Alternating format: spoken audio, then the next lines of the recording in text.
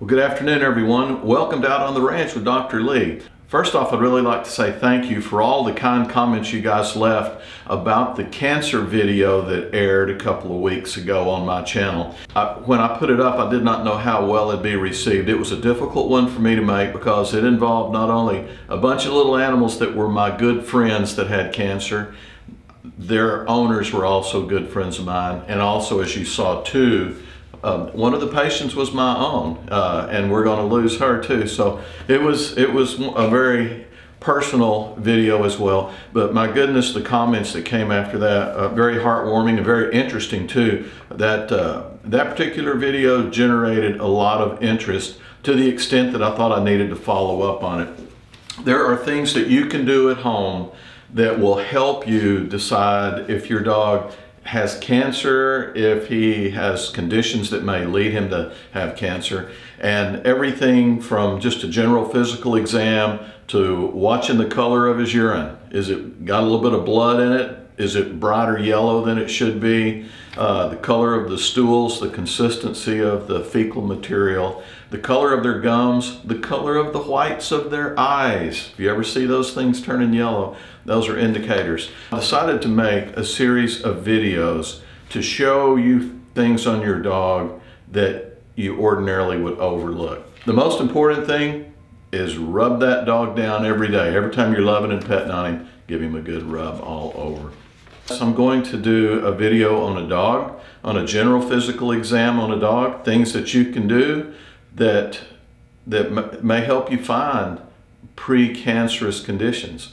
I'm also going to do one on a cat. We're going to do blood work on, on a dog and cat. And that's what this is. I've already done it and uh, just haven't gotten to making the video yet. But um, not only am I going to do the blood work just to see if these animals have precancerous conditions on the inside, but I'm also going to show you if, if your vet hands you a page full of medical jargon and gobbledygook and you say, my goodness, what in the heck is a BUN creatinine ratio?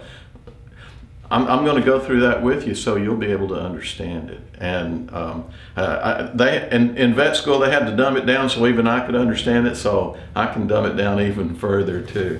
But um, nevertheless, like I said, I'm going to make a series of videos here: one on dog, one on cat, one on blood work, and um, I hope you like it. So here goes here goes number one. I think you're going to enjoy the uh, the victim. I guess we should say the patient, but uh, anyway, I think you'll recognize him. So thanks a lot. I hope you enjoy these videos, and more importantly, I hope they save some lives. If you have any questions or comments about cancers in your dog, about pre-existing conditions, anything like that, put them down in the comments section. I'll do my best to get you an answer. Thanks a lot. Hope you enjoy this. Yep. All right. Good afternoon, everyone. This is Dozer. He's a, a, YouTube star off Off the Ranch. You've seen him on Off the Ranch a lot. And Dozer has volunteered to come in to be our guinea pig today. Um, we're going to show you areas on your dogs that you need to be looking for uh, obvious cancers and things like that. And uh, Dozer's a real good uh, little patient for doing this because he, he's a very calm little dog. But uh, he's a boxer he is a high incident breed for cancer, so he's always a good one to check. Uh, we've cut tumors off of him already that were malignant tumors, and it's just one of those things, we check them every day. Just when you're loving and petting on your pet, you should be just rubbing their entire body down, looking for lumps and bumps and things that, that appear abnormal. But uh, especially if you have a breed like a boxer or a golden retriever, they are very high incident breeds for cancers. But basically, when we get get these guys in to do their exams, uh, we have a systematic approach, and it's not like you just think, well, I wonder what his heart sounds like, I wonder what his ears look like. We we have a routine that we do. I always start at the tip of the nose and work my way back on them and um, I check their internal organs first. So I usually come with a stethoscope first. I listen to their heart, and you're not going to be able to do that unless you have some training with it. But we'll show you ways that you can check to see if their hearts are beating normally. But I used to do that, and then I look inside their ears and go to their mouth, and then I start working my way all the way back. And I don't leave one inch of skin untouched on these dogs when they come in for exams, and you need to be doing that at home too. Um, And so we'll just start with his nose. You'll see a lot of uh, cancers that get in nose. You saw my cat last month, the pictures of hers with the, the nose. And basically what you ought to see is no color difference on either side. You don't want to see a little red area inside the nostrils. You want to make sure they're both good and have the same color all the way through. You don't want any lumps or bumps out here on the bridge of the nose either. And you can see Dozer's is nice and symmetrical. The color's the same. Same with the eyelids. You want them to be symmetrical. You want to roll those eyelids out like that so that you can see what's going on inside the eye.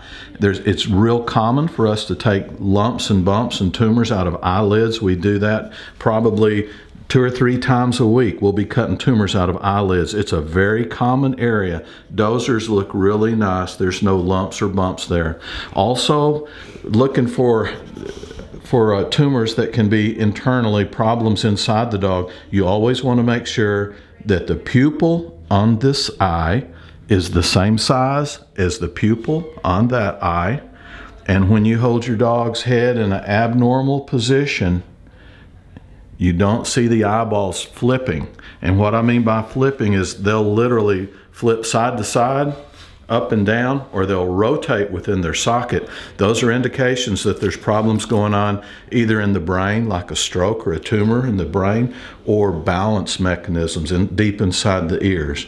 And uh, coming back from his eyes, you want to check each ear, make sure it's nice and clean, that there's no discharges in there, that there's no lumps and bumps. And you want to compare one side to the other and make sure because there's lots of natural pieces of cartilage in the ear that make funny little lumps and bumps like that one right there. You want to make darn sure he's got one of those on the other side, and he does. So that's what you want to see. If you ever see a lump on one side that he does not have on the other side, then you need to get that checked. And looking at their mouth, this is not always a lot of fun, and boxers have the most comical mouths anyway. Dozer's not too bad, but you can see his lower jaw sticks out a lot further than his upper jaw. And these teeth have been buried. His gums have grown over his teeth. That's just a common bulldog and boxer kind of thing that we see.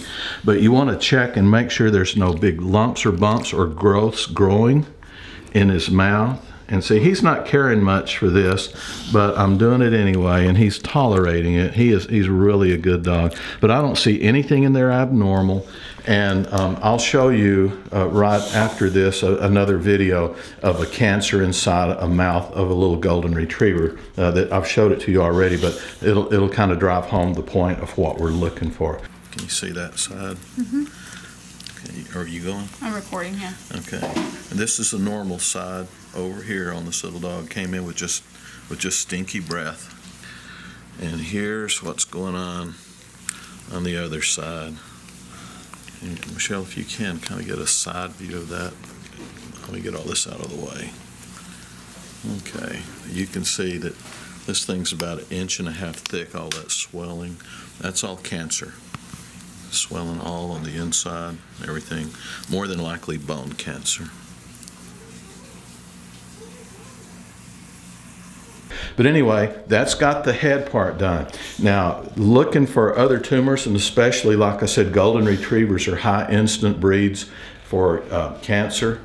And um, in, in those dogs, one thing you want to look at is this area under here.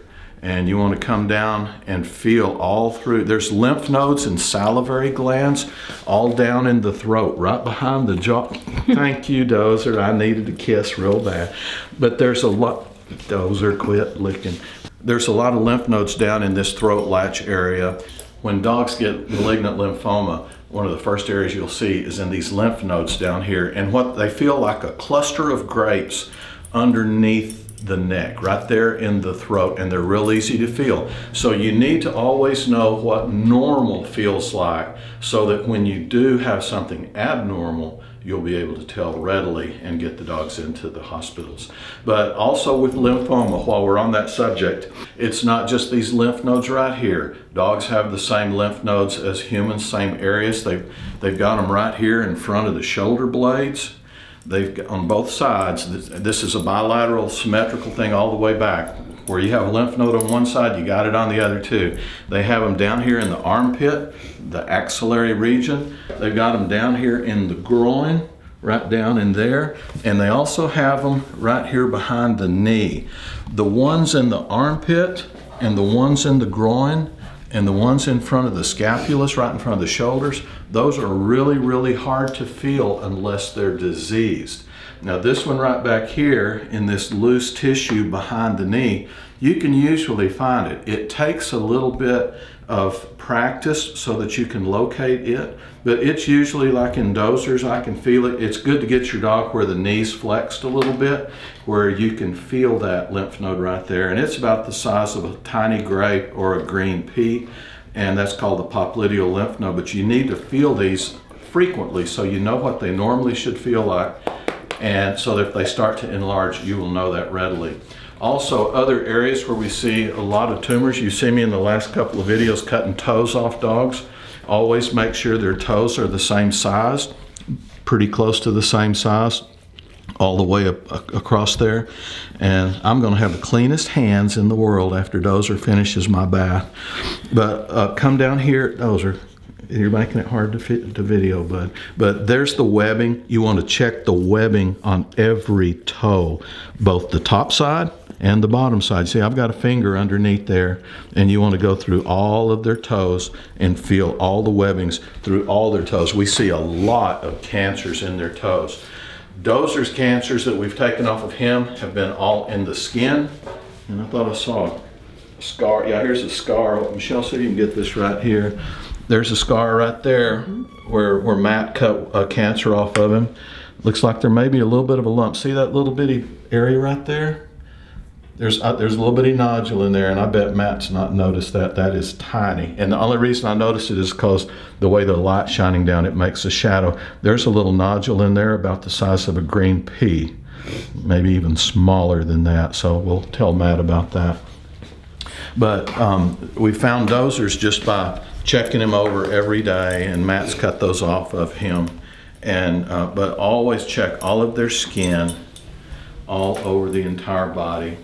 And um, what I was saying a while ago about um, uh, as far as their hearts are concerned, what, what you want in a dog, and a dog his size probably has a heart rate around 100 right now, something like that. But you can put your fingers between their ribs and you can usually feel their heartbeat with your fingers. And granted, you can't feel murmurs or anything like that unless they're really terrible, but you can tell the heart rate and you can tell how strong the heart is. And if you know what's average, what's normal, what your dog usually feels like when you're feeling his heartbeat, you'll also be able to tell when it's abnormal. Also, another good place to feel, and this, let me get him to stand up. Stand up, Dose. Stand up. That's a good boy. Their, their femoral dose is a little bit arthritic, so I'll let, I'll let him sit back down in just a minute. But their femoral artery comes right along the bone on the inside of the femur back here. This is the femur, and um, that, that bone right there where it comes down, you can stick your hands on the inside coming from behind the dog, put your hands in there, and you can put your fingertips on that artery and again, this is, these are things that take practice. You're not going to feel it the first couple of days, but keep trying. And then one day you'll think, oh, there it is. And then you'll be able to tell. From that, you can tell how, how strong his pulse is. And you can also tell how regular it is. It ought to be a nice regular pulse. But other than that, um, let me see if I can get Dozer to stand up one more time. Come here, bud. It's always a good thing to just run your hands through their guts. And I'm just squeezing side to side. If there's any lumps or bumps in there, you'll be able to feel them. And also, if the dog shows any pain while you're feeling through here, then you need to get that checked too. But uh, basically, it's, oh, oh, one other thing too. Looking back here at their anus, and boy, Dozer is one of those dogs that has a tight tail clamp.